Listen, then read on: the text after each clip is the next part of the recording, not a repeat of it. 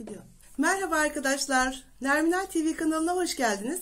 Bugün sizlerle çok pratik, çok kısa sürede hazırlayabileceğiniz 3-5 dakika içerisinde hazırlayabileceğiniz bir tariften bahsetmek istiyorum. Ben mevsiminde sık sık yapıyorum bunu.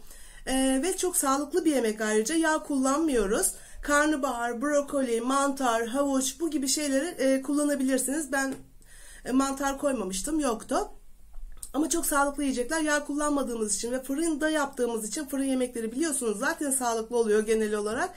Ee, ondan dolayı bu, bu tarifi çok beğeneceğinizi umuyorum. Yani sevmeyenler bile gerçekten severek yediler ben yaptığımda. O yüzden siz de seversiniz diye umuyorum. Can kurtarıcı bir yemek olduğunu düşünüyorum. Hadi o zaman tarife geçelim ama geçmeden önce lütfen beğen butonuna tıklayın ve abone olmayı sakın unutmayın.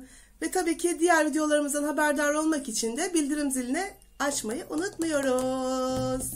Görüşmek üzere. Hadi geçelim.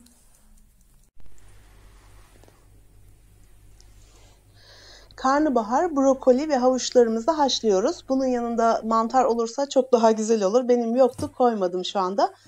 Ama gerçekten harika bir lezzet veriyor. Ee, sağlıklı bir şekilde haşlıyoruz. Yani suyun içinde haşlayıp vitaminli suya bırakmıyoruz. Ben bunun için şöyle bir aparat kullanıyorum. Şimdi göstereceğim size. Ee, suda haşladığınız zaman suya gidebiliyor ya vitaminler. Ama bunda öyle bir durum söz konusu olmuyor. Bakın şöyle bir aparat, e, ucuz bir aparatta hatırlamıyorum kaç aldım şimdi ama bunu tencerenin içerisine oturtuyoruz. Bu şekilde oturtuyoruz. Sonra içerisine malzemeleri koyup sadece hemen üstünde suyu göreceğiniz kadar su koyuyorsunuz. Yani üstüne çıkmıyor su. Altta kalıyor çok az bir miktar su. Üzerine e, sebzeleri koyduğunuz zaman suya değmeden çok güzel bir şekilde buharıyla pişiyor, haşlanıyor. Hem lezzeti hem vitamini her şey içinde kalıyor. Dediğim gibi mantarınız varsa mutlaka kullanın. Çok lezzetli oluyor. Gerçekten çok pratik, kısa sürede olan ve e, yani bunu sevmeyenlere bile sevdirecek bir yemek öyle söyleyeyim. Yanında yoğurtla e, çok güzel gidiyor.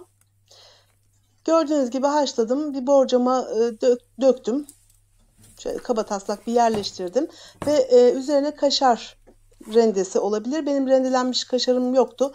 Dilim kaşarım vardı. Ben şimdi onu kullanacağım.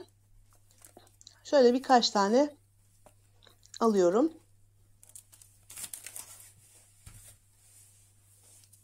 Başka hiçbir şey gerek yok arkadaşlar. Gelişi güzel parçalayıp koyuyorum. Ama rendelenmiş kullanıyordum daha önce normalde. Şu anda olmadığı için bunu değerlendireceğim. Bu yemeğe bayılacaksınız öyle söyleyeyim.